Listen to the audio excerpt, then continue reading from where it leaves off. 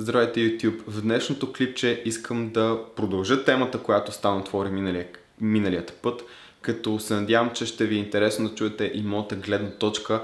И преди да започна искам да ви кажа защо смятам, че е важно и аз да споделя своето мнение. Първо, защото ми е интересно и защото искам. И второ, защото смятам, че тъй като този канал е общ и ние се стан, заедно развиваме това общество, е добре да знаете какви са и моите ценности и общото на какви хора се доверявате а, генерално, когато говорят, а, когато следите този канал. Та той говори за богатството, защо хората нямат успехи, а, за нагласата, за начин на мислене и много хора в коментарите видях, че питат за за приятелите, за околната среда, хората с които се обграждаме, какво влияние те имат върху нас. Като моето лично мнение е, че когато говорим в, за, за, за територията на България, този проблем е много деликатен. Истината е, че наистина има много хора, които са в изключително трудно положение. има много части от страната, в които просто възможностите не позволяват голям част от актив, голяма част от активностите, които биха позволи един голям град. И смятам, че това е една комбинация не само от нагласата на хората, но най-вече от образователната система, от това, че няма добра подготовка. Подготовката е много бедна и днешни, училищата в днешно време, съжалявам, че окажено са фабрика за идиоти, без никой се чувства обиден, а МОН трябва да се опожари, защото е толкова зле, че просто трябва да се премахне от всякъде и да се изгради ново. Когато говорим за общи познания и то някои по-важни неща, тип как да мислим критично, как да изразяваме своето мнение, а, обща финансова култура на хората ам, и, и общото начинът да мислиш в перспектива, те неща не се преподават. Това да говориш пред хора, да говориш с хора, да комуникираш, не се преподават въобще добре в, в България.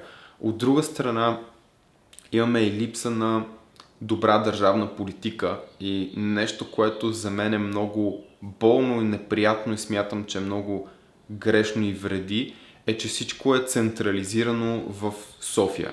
Например, Стан в момента е в Ямбол, но като цяло, ако иска да се развива по-добре, ако иска да развиваме този проект, той трябва нон-стоп да идва тук, защото почти всичко се случва тук. За щастие, Пловдив се развива много добре, а, има, има така економически и, и стана економически производствен център за някои неща, отварят се нови работни места. В Бургас и Варна а, почнаха да се развиват нещата. Бургас повече, Варна е чак толкова а, Благоевград е доста добре, може би заради университетите там, но като цяло повечето градове, които не се справят добре и са, как, как кажа, западнали без да обиде някой там, а, причината е, че няма индустрия там и не говоря за тежка индустрия, металургия, руди, заводи и така нататък, като цяло няма, няма малък няма дори IT бизнес, няма малък бизнес, има най-базовите неща.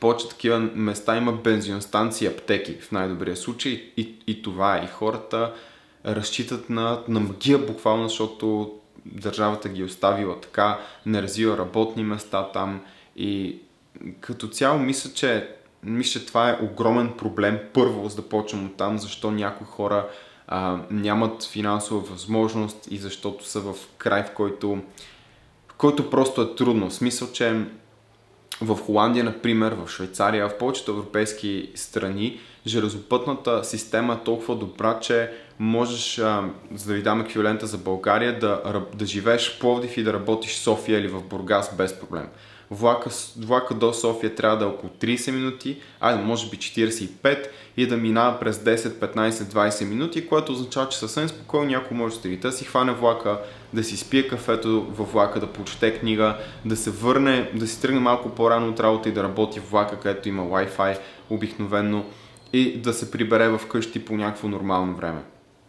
Има инфраструктура, която позволява и по-лесно пътуване с кола, като това означава, че много хора биха живели, да кажем, в а, Своге или в Лакатник и без проблем идват в София на работа и в крайна сметка си инвестират парите и спестяванията в своята малък град, в селото, което живеят и така нататък. Така че това е един много генерален проблем и доста отклоних от темата, но въпреки всичко аз не мога да не подкрепя Стан, тъй като съм съгласен, че в днешно време, в 21 век, ам, има толкова, толкова много възможности, че дори държавата да е изоставила някой край, да не му обръща внимание, дори образователната система в някаква степен да ни е провалила, има много, много възможности. Просто това, което ви трябва е интернет. Всеки има телефон или компютър.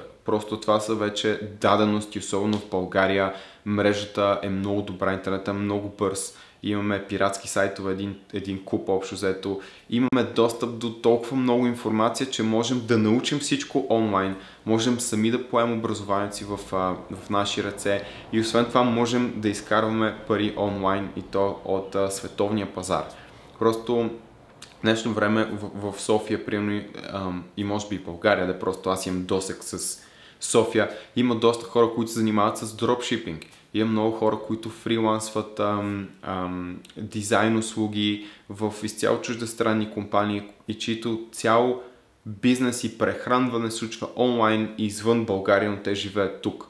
Което е добре за нашата економика, защото взимам пари от, от чуждестранни компании и все пак си инвестираме и живеем и захранваме местната економика. Така че, когато някой каже, че не може и е останал в немотия, първият ми въпрос е ти какво правиш по въпроса, защото в крайна сметка, ако ти не правиш нищо, според мен нямаш право се оплакваш. Ако просто работиш от 9 до 5 и, и чакаш някой да дойде и да те спаси, това няма да се случи просто. Не се случва и в чужбина, не се случва и в България.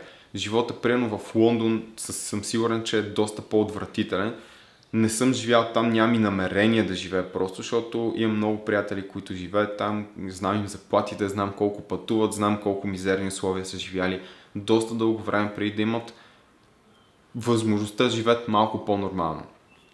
Така че проблема и отношението ми към него е малко по-сложно. Бих казал, че, че всеки е виновен на 100%, а, защото смятам, че държавата трябва да има някакво отношение и да даде възможности за развитие на хората, които не биха искали или не са такъв тип хора да са толкова самоинициативни.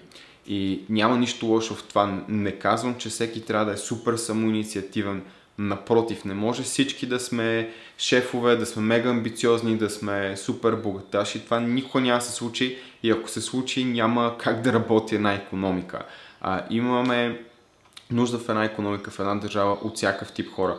От хората, които са супер организирани и могат да планират всичко, тези, които са много креативни и могат да виждат в бъдещето, да визуализират какво трябва да се случи напред, хора, които са лидери и са добри в организацията, хора, които са социални и помагат с социалните проблеми в страната, хора, които развиват бизнес и това им е основната насока, искат да привличат инвестиции от чужбина. В смисъл, че това са просто примери, но все пак имаме нужда от някакво разнообразие и, и децентрализация на много неща. А, така че това е, как кажа, не, въобще не е проста тема. Мен ми отнема сигурно 10 минути само да встъпя в нея, а, но въпреки това аз лично бих, бих казал един цитат, който мисля, че най-добре описва всичко, което имам да кажа по темата, защото много хора са свикнали да мислят за богатство и за успех само в финансовото измерение. Аз мятам, че това не е цяло така. А, има много хора, които са богати, но нямат много финанси, защото имат изключително а, богат на живот на, да кажем, на, на позитивни изживявания, много са семейни, имат, а, макар и скромен живот, имат а, хубав край, в който живеят хубаво село или малко градче, редовно са около близките и роднините си, прекарат много повече време с децата си, отколкото някой в големия град, който да, има финансови възможности, но е изгубил връзка със своите роднини, деца и така нататък. Има изключително много стрес. Така че успеха и богатството не мисля, че можем да ги определим с точност. всеки сам би определил как, какво означава успех и богатство за него, но това, което искам да кажа, е един цитат, който беше, не съм сигурен дали е на Бен Бернанке или на, или на неговия предшественик а, Федералния резерв, но а, когато беше кризата през 2007 година, тя удари България 2010 2010-2011, той каза следното нещо. Много хора се оплакват, че са бедни, но направят разликата между бедност и банкрут. Банкрута е място. Ти нямаш... Това, това е легална ситуация. Ти нямаш повече пари, нямаш възможност да си покриваш ипотеката, да си изплащаш колата, да изплащаш заеми и ти, ти се намираш на това място банкрут и се задействат определени легални процеси и ти нямаш избор. Да си беден от друга страна не означава да си банкротирал, защото все още имаш някаква свобода, имаш някакъв избор. То е просто състояние на духа. Има някои хора, които вечно остават бедни, колкото и пари да имат, колкото и прекрасно семейство до тях да имат, което не оценяват, колкото и хубави приятели да имат, които те не оценяват, просто защото тяхното състояние на духа е такова на ограниченост, на бедност, на аз нямам и другите са ми длъжни.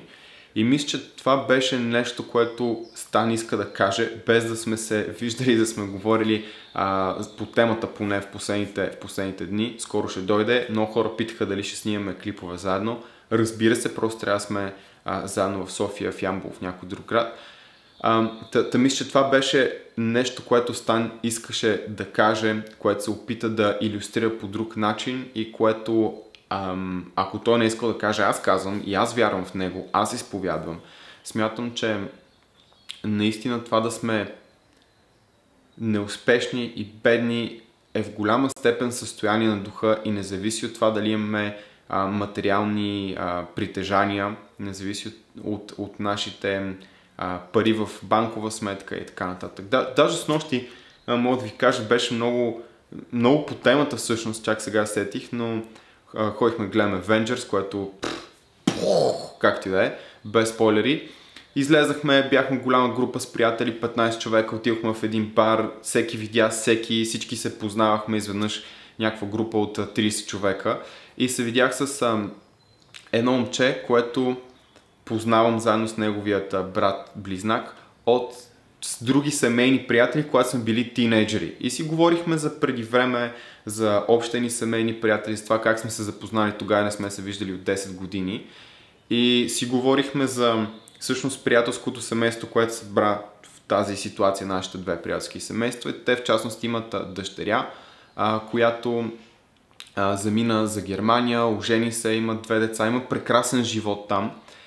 И, и той каза следното, абе знаеш, аз, аз съм много, срещнах се ясно скоро нали, с, с, с това момиче и, и аз нон-стоп нали, говоря на хората как всъщност а, имам супер кариера, много съм готин и така нататък и всъщност се оказа, че единственото с което мога да се похваля е банковата ми сметка, което е абсолютно нищо, защото аз имам една кариера и нищо останало. А то, то е много готин пич, има готини приятели, има, а, има хубав живот, но има и осъзнатостта да знае, че има нещо много повече отвъд, отвъд парите и че него му липсва и въпреки, че нашата обща приятелка в Германия в никакъв случай не е зле финансово, но за стандарта и в, в Германия може би не е така както той е тук. И, но въпреки това тя има две деца, има прекрасно любящо семейство там, има възможност да а, се наслаждава на, на това, което Германия има да й предложи, защото тя много обича да, да готви, има разнообразие от продукти и така нататък. Long story short, кой е по-богат? Човека с по-голямата банкова сметка или човека, който живота му е по-спокоен, по-хубав, семейен и така нататък. Та, мисля, че това горе-долу покрия всичко, което искам да кажа по темата, въпреки че всъщност има още една точка и тя е за околната среда, за приятелите и ще го сумаризирам много кратко, защото стана и дълго видеото, но вашата околна среда, хората с които се обграждате, буквално ви правят. Това е колкото и да не съм го вярвал, когато съм бил тинейджер и когато родителите ми са го казвали, ам, а реално такива каквито са вашите приятели, с такъв какъвто се събереш, такъв ставаш. Просто поговорката е много, много, много, много вярна. Аз лично, откакто започнах да се движа с повече предприемачи, с повече хора, които а, се занимават с бизнес, както и Стан. Първо, че ние проимахме амбициите да направим нещо такова, но не само заради нас самите, защото това може да ни позволи след това да даваме повече, а, беше огромна крачка а, за нас, която стане много неусетно. Просто се обградихме и преди да се усетим, нещата просто се случиха. И, и това всъщност също беше точка, която исках да кажа е а, какво значи успеха от гледна точка на, на бизнес за мен, просто защото това е нещо, на което много държа и, и, и бих искал да, да споделя с вас, крайна сметка. А то, че много дълго време се чувствах виновен, защото ви казвам, нали, има проблеми в образователната система, държавата не прави алба. Аз какво правя? Аз правя нищо също. В смисъл, нали, на този етап аз, аз не съм направил нищо, освен че съм гласувал, че съм излезнал на 5-6 протеста. Но, но отвъд това аз съм никой и нищо не съм направил. И това, това е малко по-дълга история, свързана с моето детство, но това, което лично аз мятам, че ние с Стан можем да направим в дългосрочен план и това, което поне е моя цел – е, и, и, тъй като винаги съм искал да бъда и предприемач, е да изградя една добра компания, която а, може да даде възможност на много хора да имат спокоен семейен живот, да са добре осигурени, да работят на готино място с готини хора, да правят яки неща и да имат много по-хубав живот в а, България, отколкото ако работят някой завод или склад или нещо такова. Това е, това е една моя мечта и смятам, че всеки човек, който е предприемач, особено когато вече стане сериен предприемач, има няколко а, големи развити бизнеса, той трябва да стане филантроп и да връща обратно. Стана доста объркващо клипче, може би. Надявам се, че все пак има някаква логическа структура, че ви е харесало, че сте разбрали каква е моята гледна точка по, по този въпрос и че а, ще ме извините, че това клипче не е за фитнес, тъй като станаха две поред, които не са за фитнес, но мисля, че следващата седмица ще се завърнем с гръм и тряска, особено когато и Стан дойде. Марио Томич също а, е наоколо. Ще направим малко повече фитнес влогове, фитнес клипове. Така че това е клипът от мен за вас. Надявам се, че е бил интересен. Ако ви е харесал, моля, коментирайте отдолу и харесате видеото, защото това адски много ни помага. И не забравяйте ни посетите в Instagram и в Facebook, но най-вече в Instagram, защото там качваме абсолютно всичко вече. Просто сторитата, какво дем, какви упражнения правим, как тренираме, всякакви съвети и помощ може да, да видите и да получите там. Така че се видим в следващият клип.